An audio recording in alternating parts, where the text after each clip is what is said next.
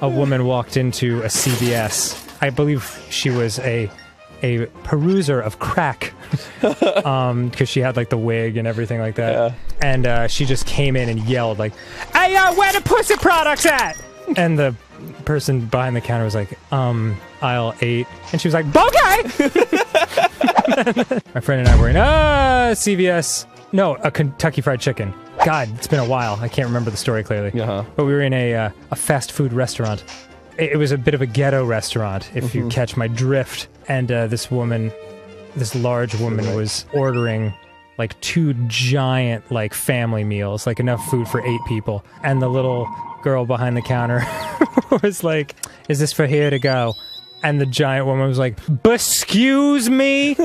You think I can eat all this by myself? And the girl behind the counter was like, Bitch, I don't know your life! Whew. that. Excuse me. okay.